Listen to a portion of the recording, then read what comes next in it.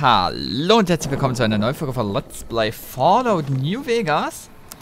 Wir haben ja jetzt wieder den nächsten Teil unserer Erkundungstour abgeschlossen und ich glaube, wir gehen uns langsam echt auf die Zielgerade. Hier in den Eldorado Trockensee. Von der Tankstelle Eldorado über diesen Trockensee zum Interstate Point 188. Ist nämlich mein Ziel. Zumindest. Ähm... um dann am Ende beim Interstate, am großen Ziel, unsere Sachen zu verkaufen. So. Das auch wieder. Ich habe so viel verpasst hier bei diesem Gebäude, äh, bei diesem Punkt. Warum bin ich nicht zu diesem See gegangen? Aber ich könnte ja eigentlich wieder Love Hate nutzen. So. Ich sehe hier die ganzen Ameisen. Das wäre perfekt. Früher habe ich hier mal gerne äh, Scharfschützen geübt. Scharfschützen äh, schießen. Scharf schießen, schützen. Irgendwie so. So, hallo. Na. Komm. Hallo. Eldorado Trockensee. Sehr nice, sehr nice, sehr nice.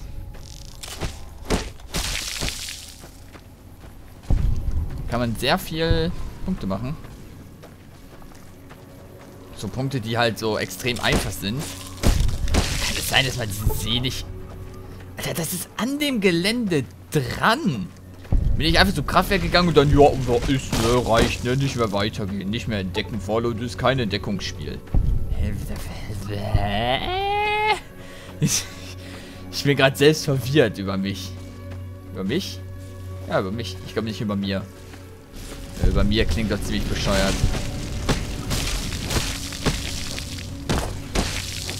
Ist tot? Hoffe mal. So. Hallo. Na. So, äh, ist hier was? Tunnel, kein Zugang. Er ist ja nice. Da ist gleich noch die Vault 11. jemals drin? In dieser Vault? Kann ich nicht sagen.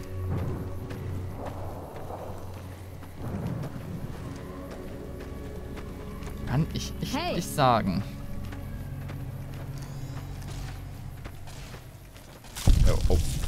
Okay. Gehen wir da einfach mal rein. Das sind ziemlich viele Vaults, ne? Habe ich das Gefühl kann es jetzt nur so gefühlsmäßig beurteilen. Ah, Vault, Vault wird wieder lang. Ich glaube, das äh, wird sonst nichts weiter in dieser äh, Folge. Sie ist zwar ziemlich am Anfang der Folge, aber finden Sie Vault 11. Fast Level 35. Das ist gut. Und finden wir den Zweck dieser Vault heraus. Eieieiei. Ei, ei, ei. Das war synchron. Okay, diese Vault ist ziemlich beschädigt mal wieder.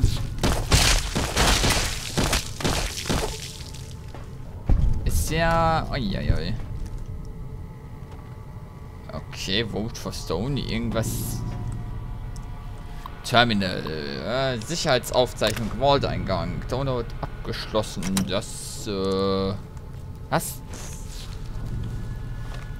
Nur Notiz. Ja, hätten wir das nicht direkt da lesen können. Ich äh, frage nicht. Vault 11. Vier Leichen beim Vordereingang von Vault 11 und eine seltsame Aufzeichnung deuten da auf düstere Hinweise hin. Finden Sie heraus, was mit Vault 11 und den Bürgern von Vault 11 geschehen ist. Werden wir das wirklich tun? Es ist offen. Wir können einfach gehen. Ich könnte nicht. Nicht nach dem, was passiert ist. Wir verdienen es nicht, fortzugehen. Als leuchtendes Beispiel haben sie uns bezeichnet. Aber das waren wir auch. Wir taten, was von uns erwartet wurde. Bei weitem nicht. Jeder hätte getan, was wir taten. Meiner Meinung nach ist das genau das Problem. Und jetzt weiter. Ich gehe zuerst. Nicht so schnell. Die Leute sollen wissen, was passiert ist. Das ist bestimmt sehr lehrreich. Wenn da draußen überhaupt jemand ist, hoffe ich, dass sie das nie rausfinden müssen. Bereit, Harry? Hier. Halt, halt, halt! Moment.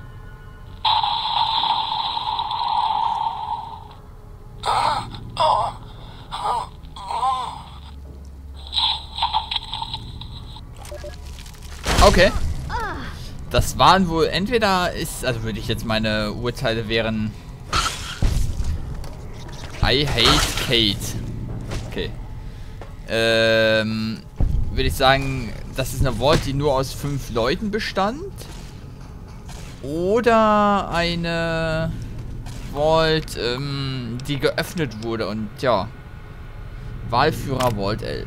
Sehr geehrter Vault-Bewohner, herzlichen Glückwunsch. Ihr Engagement für den demokratischen Prozess ist der Fels, auf den die dauerhafte Stabilität von Vault 11 gebaut ist. Um Ihnen die, dies, die Entscheidung bei dies, diesjährigen Wahl etwas zu erleichtern, haben die Vereinigten Wahlblöcke von Vault 11 diese praktische Lektüre für motivierte Ansässige zur Aufseherwahl, kurz LMAA, zusammengestellt die eine Liste der führenden Kandidaten für das Aufseheramt sowie deren Stellungsnamen, Schlüsselpositionen und Befürworter enthält. Mit freundlichen Grüßen so und so.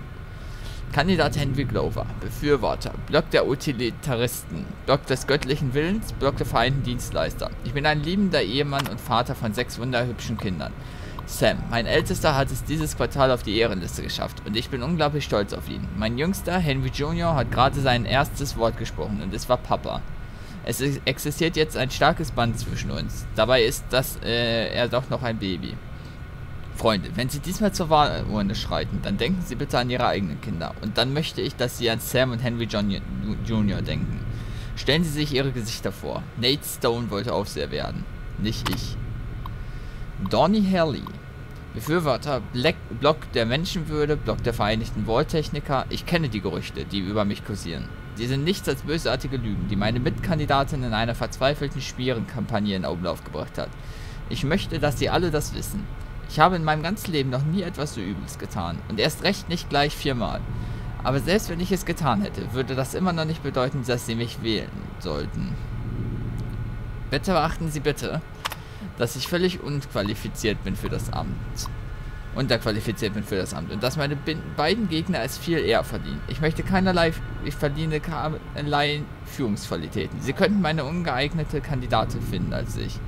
Ich versichere Ihnen, meine Amtszeit wäre ein absolutes Fiasko. Kandidatin Nathan Stone. Block der Gerechtigkeit, das ist doch lächerlich. Ich äh, äh, gehöre gar nicht auf die Kandidatenliste. Ich bin auch nur wegen der ganzen schmutzigen Hinterzimmerpolitik hier drauf gelandet. Ekelhaft. Sie sollten sich alle schämen. Ja, Verschiebungsmitteilung. Mitbürgerinnen und Bürger. Aufgrund der tragischen Ereignisse der letzten Tage wird die Aufseherwahl auf einstimmigen Beschluss der Koalition der Wahlblöcke von Volt 11 verschoben, bis die Ermittlungen in den Mordfällen abgeschlossen sind.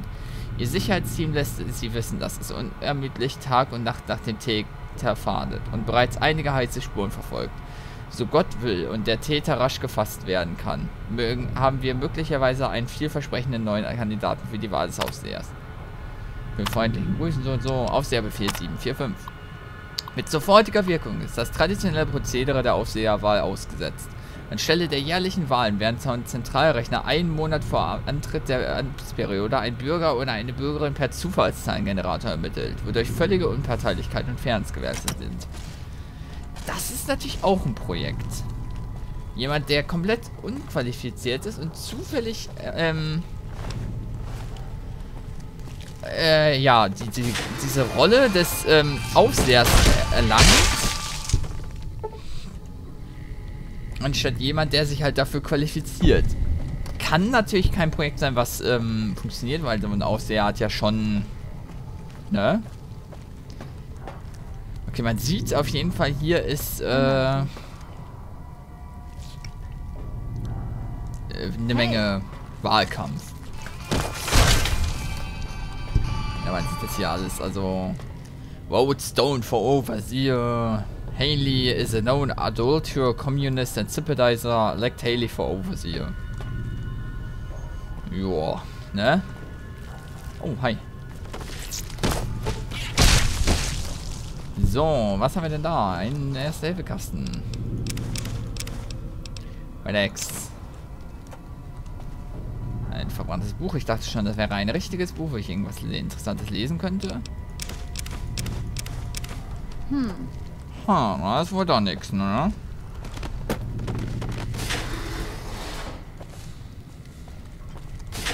Oh, was haben wir hier? Eine Riesenschrecke. Aha. Ein paar Klos. Nichts Besonderes. Eine Ratte. Okay, so perfekt. Äh, weiter. Öffnen wir diese Tür und gucken. Alter, was ist denn hier los? Übertreibt's doch mal mit dem Wahlkampf.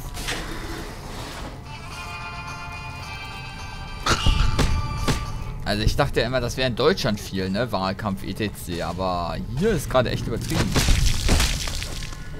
Was haben wir denn?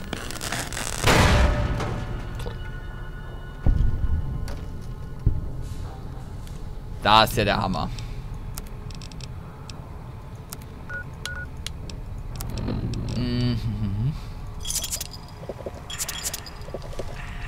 So, haben wir denn da... Okay, das ist dasselbe Terminal.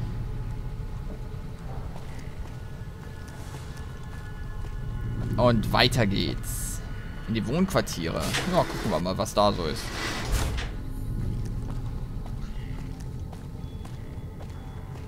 Mhm.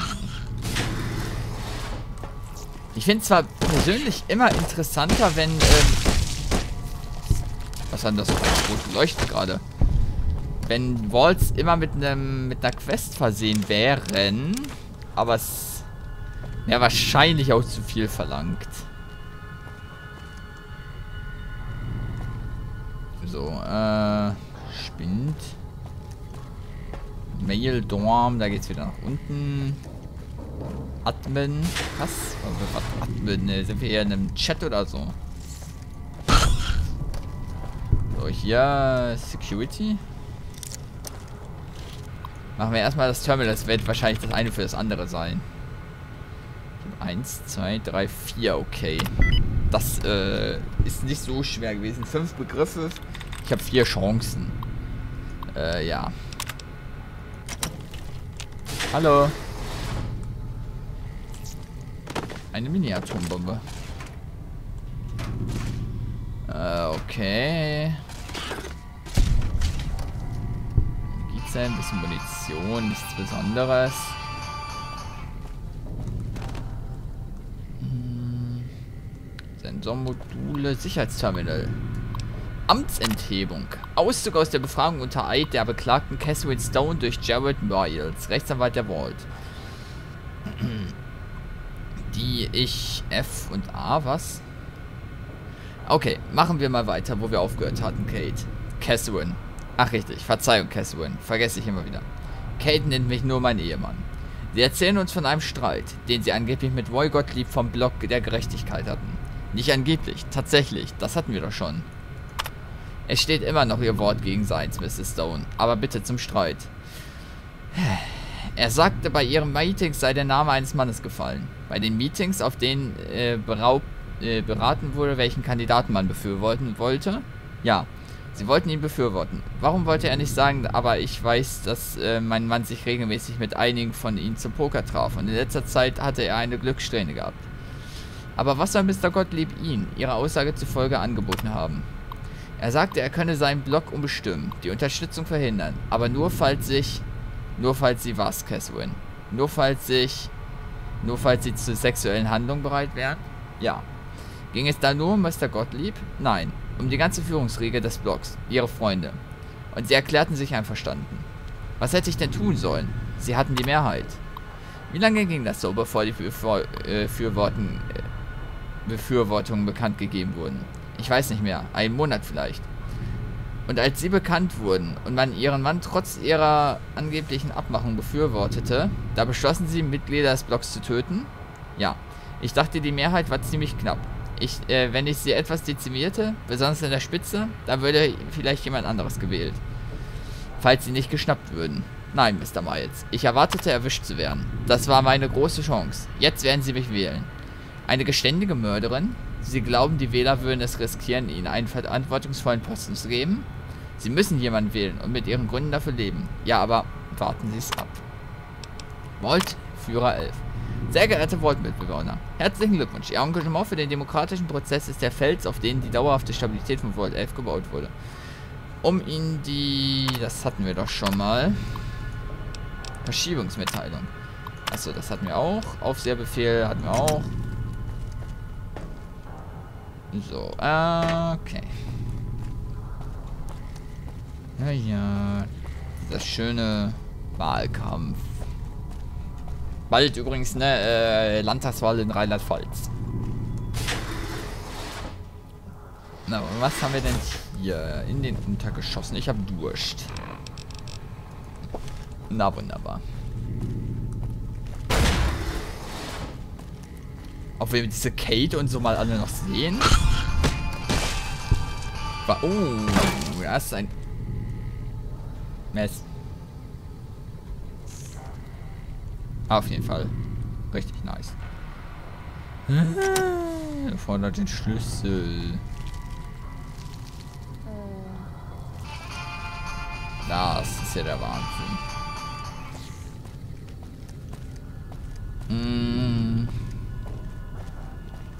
Könnte das der richtige Weg sein? Ja, da sind noch Gegner, die noch leben. Äh, nicht, noch, noch leben. Na klar, ist das richtig. So, was haben wir denn hier? Ein paar Granaten. Nichts weiter Schlimmes. Hier sind nochmal zwei Leute gestorben. Aber auch nichts heute Dramatisches. Oh. Eieieiei.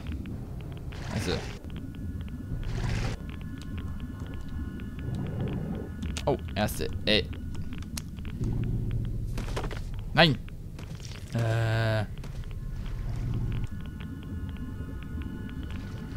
So, Haarklammer, leere Spritze, Weatherway und nicht ruhiger Hand. Äh, brauche ich nicht so ein Quatsch.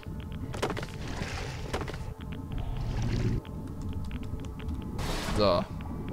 Schön, dass die Dinger auch alle unter Wasser funktionieren. Gefällt mir mal sehr. Äh. So, und weiter. Das ah, ist halt nur Strahlung. Wir haben ja noch genügend Weatherways dabei. So, was haben wir? Der ist wohl an der Falle gestorben. Was ist denn das, dass sie sich alle Fallen stellen? Und ich kann mir richtig vorstellen, dass die ganzen unschuldigen Leute dadurch gestorben sind. So, was haben wir denn hier? Aha, noch mehr Ratten. So, Lunchboxen. Eine weitere Tür. Uh. Hallo. Hey. Na. Holla die Waldfee. So, ein weiteres Sunset-Brille. Was mich auch sehr erstaunt, dass die äh, Qualität meiner Nahkampfwaffen nur so langsam runtergeht.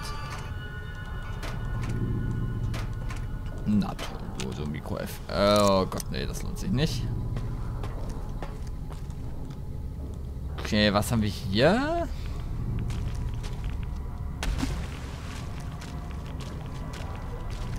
Generatorraum, der halb unter Wasser steht, das ist vielleicht nicht so schlimm. Okay, da geht's ganz raus. Was ist hier?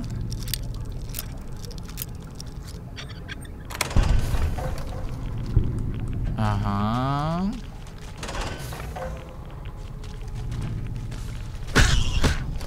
Okay, interessant, was hier so ist. Da geht's auch raus.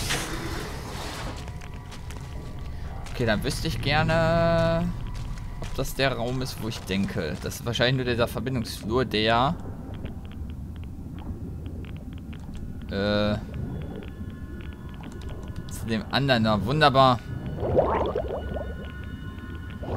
Ich hab's ehrlich geschafft.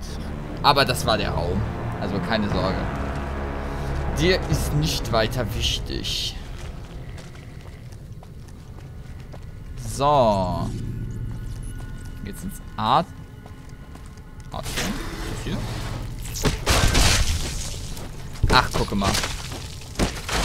Es ist ein wichtiger Raum, weil hier die ganzen Haley, Stone, Kate. Na, wenn das nicht mal viel Demokratie ist. Das ist der New Sheriff.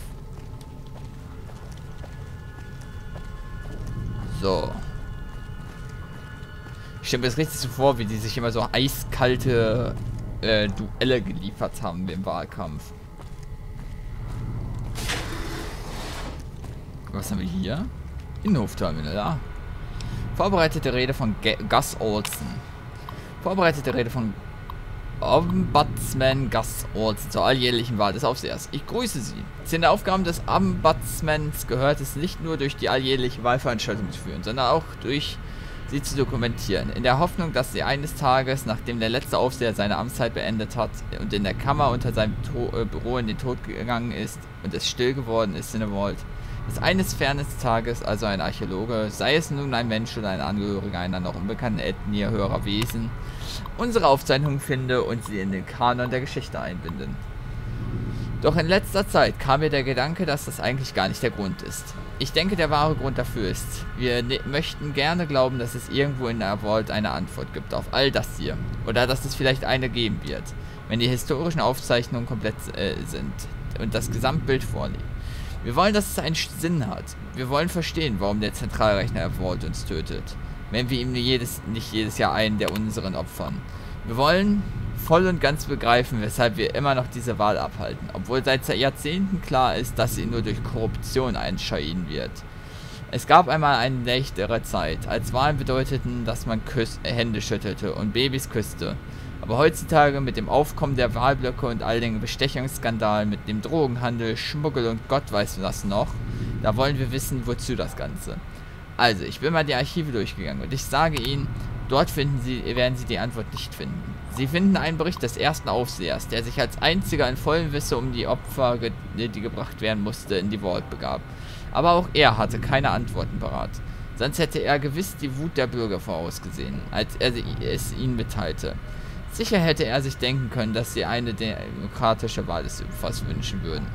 Weil wir Bürger es nun einmal gewohnt sind, unsere Hände auf diese Art und Weise in Unschuld zu waschen. Dass sein Name ganz oben auf der Liste stehen würde und dass die beiden Posten des Aufsehers und des Märtyrers in der Vault 11 auf ewig eins sein würden.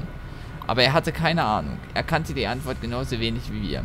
Als die Bürgerschaft entdeckte, was, äh, so steht es in den Aufzeichnungen, dass das Kennwort der Tür zur Opferkammer Betty lautete, der Vorname seiner Frau, und dass die Tür unversiegelt war, sodass er als erstes Opfer dahergebracht werden konnte, da habe er beim Hineingehen geweint wie ein Kind. Ich kann nur staunen, warum es keine Antworten gibt und warum wir einfach weitermachen, weil wir keine andere Wahl sehen. Und dennoch halte ich fest an der Hoffnung, dass wir eine andere Möglichkeit finden. Ich bitte Sie alle dringend, den Weg zu gehen, den ich gegangen bin sich an die gar nicht allzu ferne Zeit zu erinnern, als Höflichkeit und Würde noch unseres Handelns prägten und als wir noch nicht ganz so sehr schämen mussten. Ich danke Ihnen. Und jetzt verstehe ich den Sinn, da wollte ich ändere mich jetzt, glaube ich, auch ein bisschen. Jedes Jahr wird ein neuer Aufseher gewählt. Gut, das wussten wir ja bisher. Aber dieser Aufseher muss nach seiner... Äh, mein Hunger hat zugenommen. Äh hat nach seiner einjährigen ähm, Amtszeit äh, mu wird, muss er halt sterben in dieser Kammer anscheinend. So. Und da ist es die Frage. Willst du als einjähriger ähm, Vault-Anführer Macht und so weiter haben, mit dem Wissen, du wirst nach einem Jahr sterben? Oder willst du es einem anderen...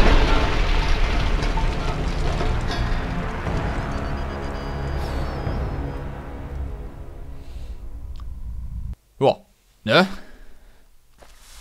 Oder willst du es einem anderen aufbürgen, sich für dich zu opfern?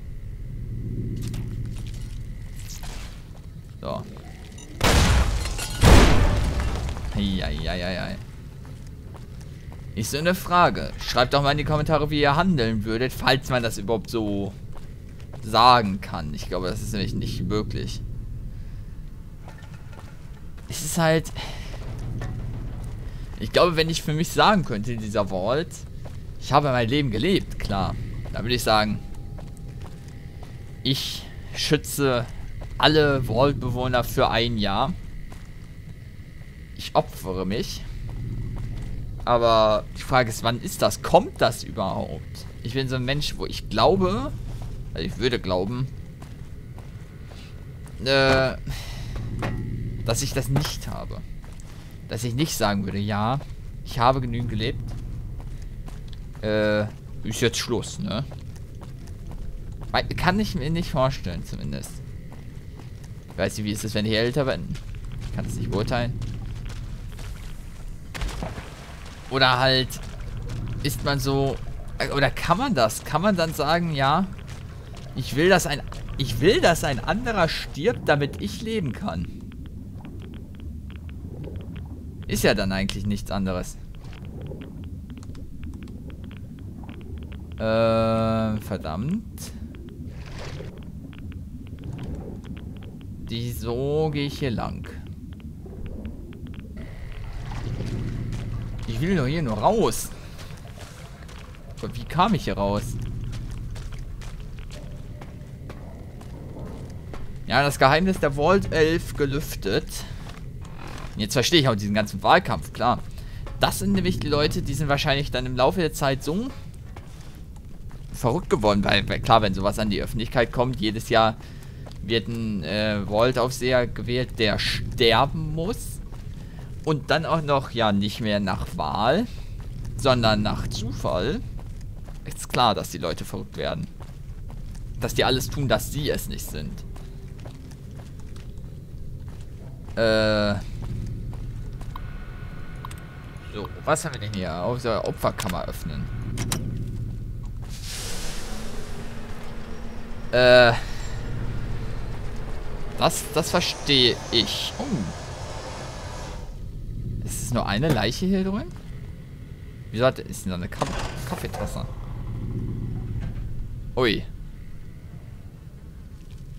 Glückwunsch, Märtyrer. Ihre fantastische Reise beginnt gerade erst. Gehen Sie bitte weiter in das Licht.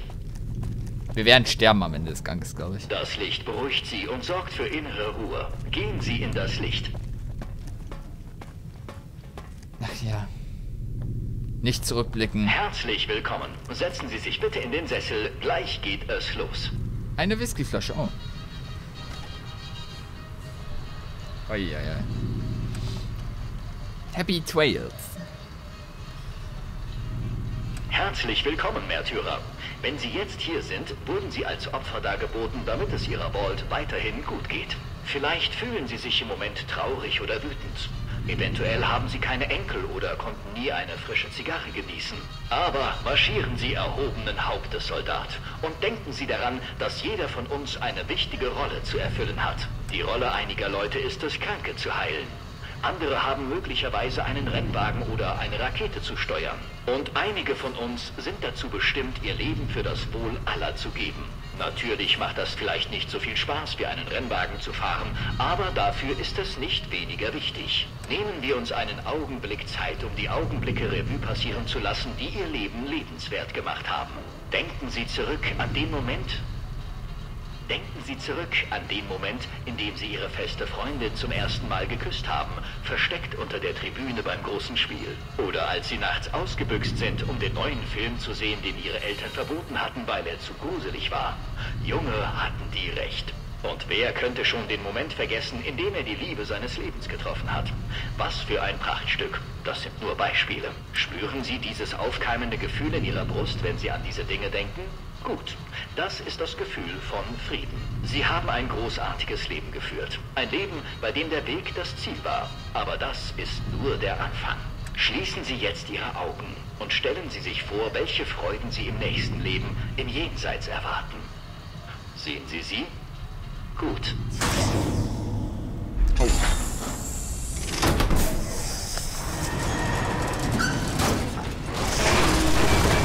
Oh.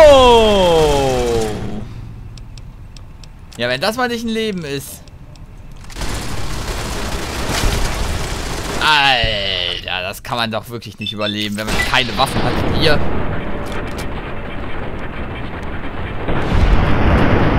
Scheieieiei. Wir haben den Tod überlebt, würde ich dann mal behaupten.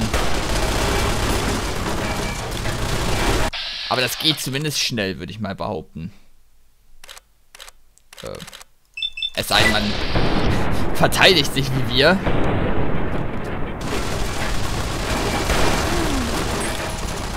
Gottes Willen.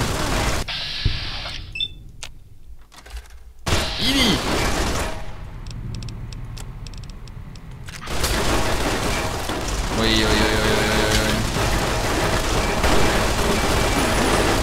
Alter. So, den nächsten. Das Schöne ist, wir haben ja gleich mehrere sogar.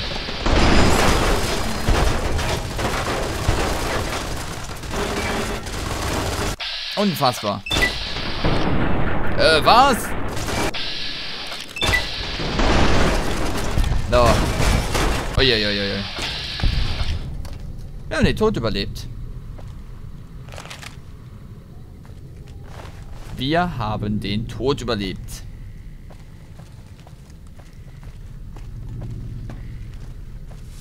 Glückwunsch, Leute.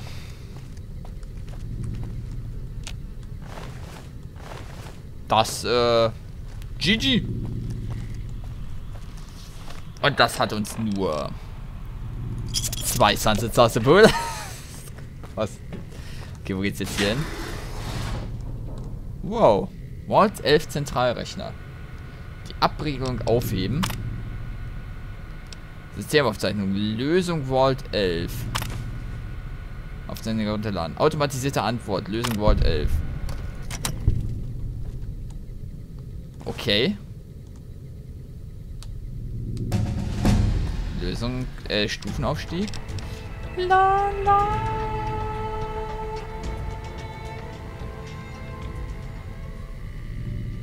Okay, ähm...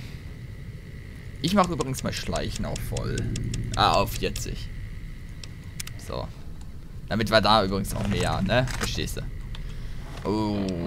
Okay. Wir haben den Tod überlebt. Äh, Vault 11 Aufseher. Das ist Betty, ja stimmt. Okay, ich weiß, du kannst mich hören, also aufgepasst. Von uns sind noch fünf übrig. Fünf. Von, oh, ich weiß nicht wie vielen. Es ist also vorbei.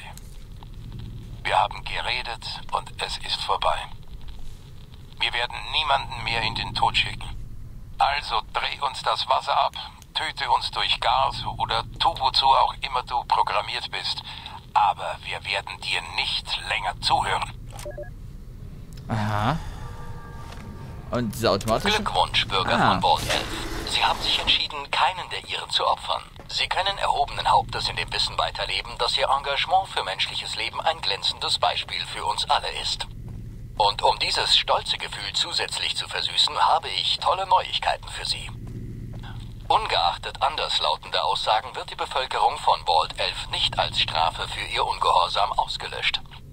Stattdessen wurde der Öffnungsmechanismus der Vault-Haupttüren aktiviert. Sie können nun nach Lust und Laune kommen und gehen. Aber nicht so schnell. Fragen Sie vorher Ihren Aufseher, ob das Verlassen der Vault sicher ist. Für Vault-Tech hat Ihre Sicherheit oberste Priorität. Aha.